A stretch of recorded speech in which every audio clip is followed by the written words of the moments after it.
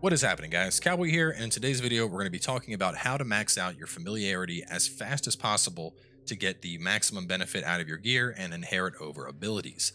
Now for those that don't know what I'm talking about, familiarity is this little gauge that you can find at the top of pieces of gear. It basically indicates how long you've used an item, and the higher it is, the stronger that gear is. That's exactly why my chest and my boots here have 35 attack, whereas on the gloves it's only 20. Now, the more important aspect of familiarity is that we can actually move stats over that are on our gear. We have two different types of inheritables. You have one like this and this, where it's an orange inheritable, and that's going to permanently move a stat over. If I was to take these gloves with maximum familiarity and use them as a soul match catalyst, it would move the attack over to a piece of gear, kind of how you see here.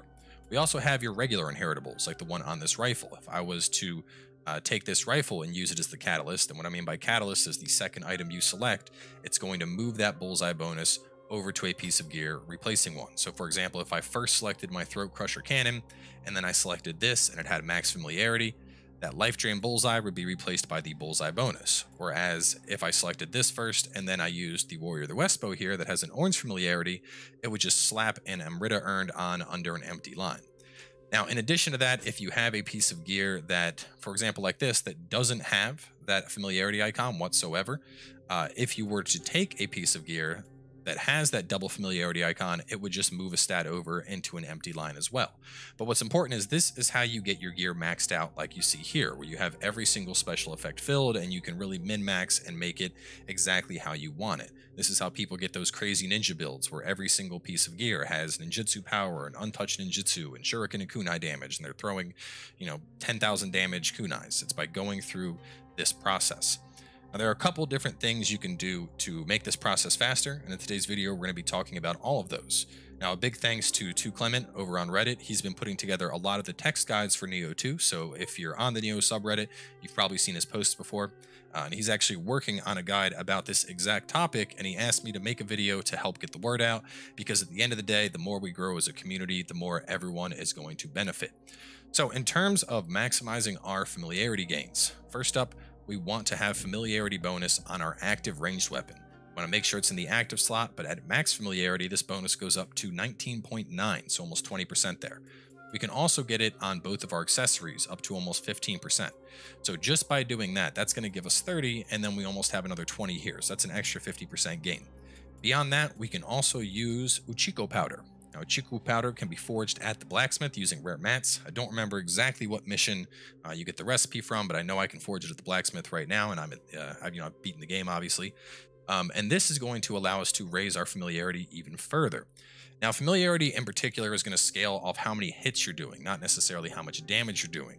So to that extent, we want to maximize our hits, and for that, dual swords is going to be one of the best weapons in the game. With Water Sword 2, we just get faster and faster here, and we're going to be able to hit the enemy a ton of times as long as they're standing still. We're going to couple that and put uh, Nimble Slice on it. This is going to reduce the damage of it, but make it cost less Ki to perform, therefore allowing us to just get more hits in. Now to make sure we can get those hits, we need a big beefy target that's not going to move. And when it comes to that, the High Spirited Demon is going to be the mission of choice. So if you're early in the game, obvious spoilers, this is Region 5, but I'm going to jump in, show you how I speed run through this, and then show you the process of farming against the demon so you can see how fast we build up familiarity. Now, as with any speed run, I suggest you have a Barrier Talisman, a Quick Change Scroll, and a Tiger Running. Now, we're actually in our normal gear to run through this. There are a couple enemies we need to kill to make our way to the boss. Fortunately, this isn't the kind of mission you can just sprint straight through.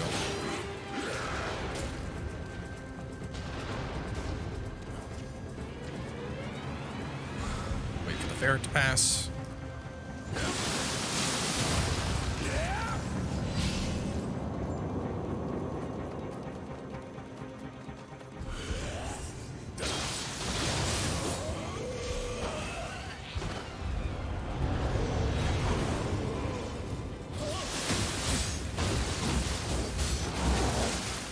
Course it had to be a feral.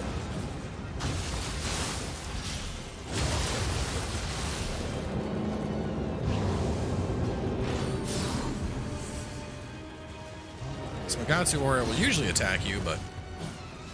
And you can kill all this stuff if you want. We're just looking to get through this as fast as possible, so I am simply just all an ass through.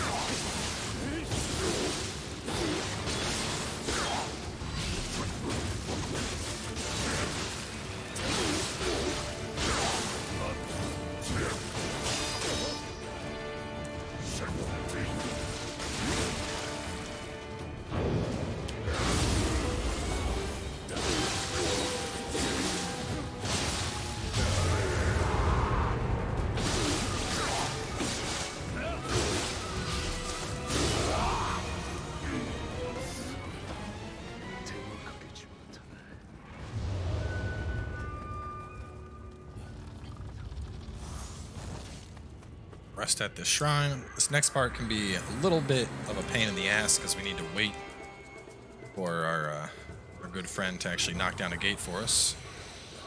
So we're going to save our tiger running.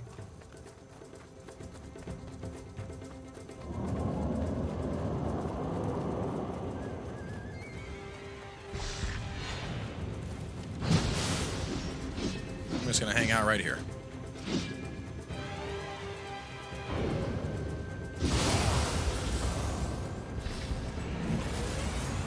You can see how, like, if we're even a little bit off the gate, he won't actually destroy the gate.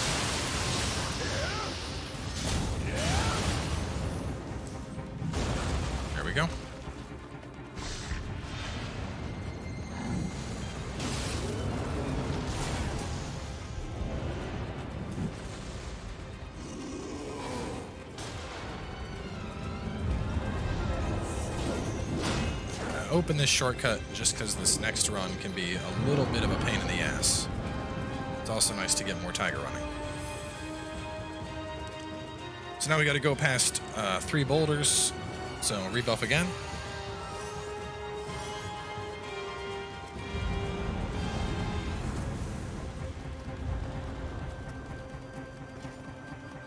Go a little bit and off to the side run up this a little bit and then run back and get off to the side.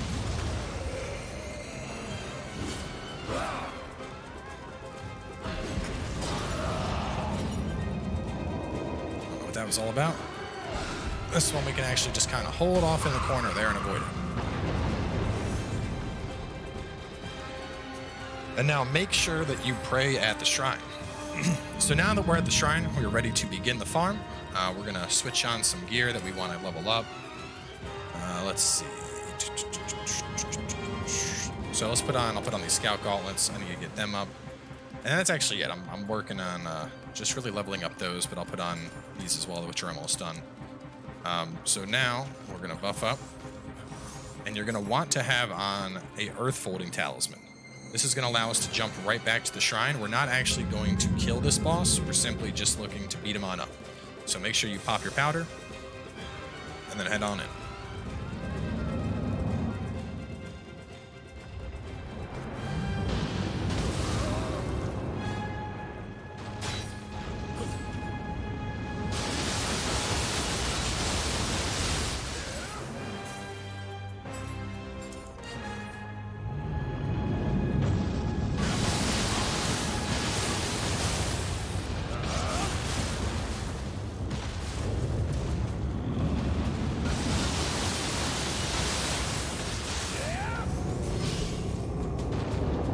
Now, I actually don't recommend going through all of his phases. I'll usually get him up until his uh, Dark Zone phase, and then right around that time, he ends up. Uh, just a little bit more of a pain in the ass because of the Dark Zone and the Ki.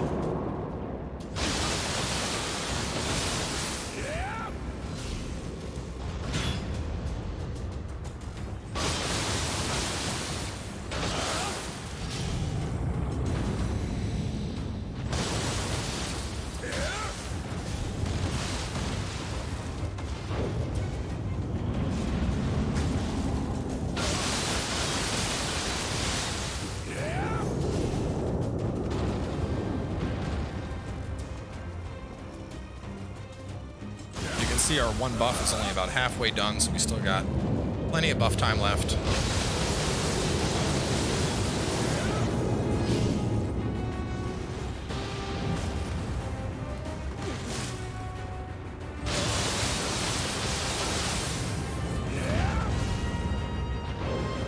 Alright. and we'll head back.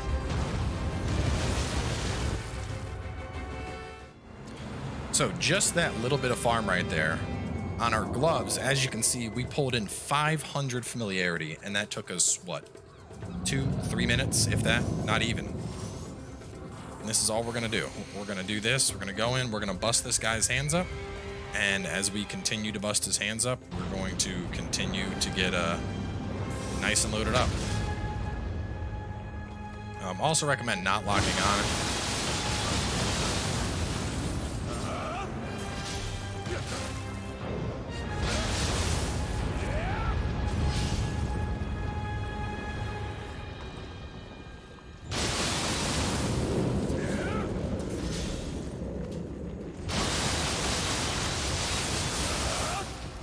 You can really do this with any boss, but Daidarabotchi is a great choice because nice big targets where you're getting multiple hits in, kind of stays still for the majority of the fight. It just it makes him a really easy target to do this on.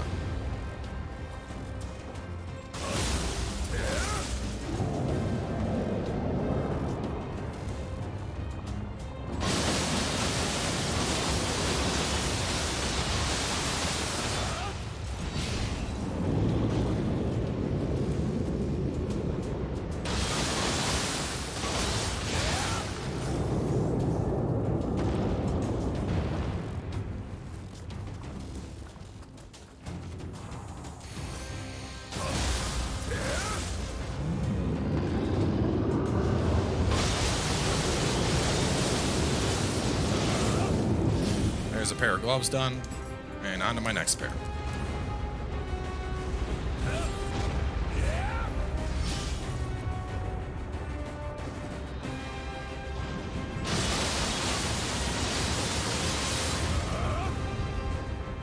And once the hand gets down to like one, don't even bother.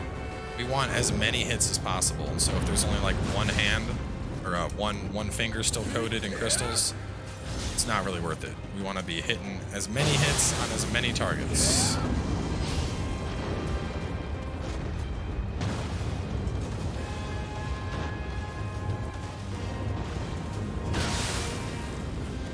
There's that waste that we swapped to in the last last fight against him.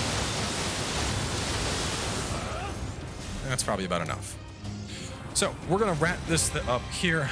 Um, obviously, this is a long process, you know, especially when you're trying to really min-max. Um, a lot of the times when it comes to specific things like windstorm damage or uh, I mean, I've, I've, had windstorm damage. I've seen stuff for blade spin. I've seen stuff for yeah, quick draw. All of those are going to be on gloves, and attack is also going to be on gloves. So, point is, it's kind of a pain in the ass to max out your familiarity, but doing it this way seems to be the fastest method that has been found so far. So, either way, gonna wrap this one up here. Once again, big thanks to 2 Clement for showing me this method so that I could share it with you guys, and I'll catch y'all next time with some more Nioh 2.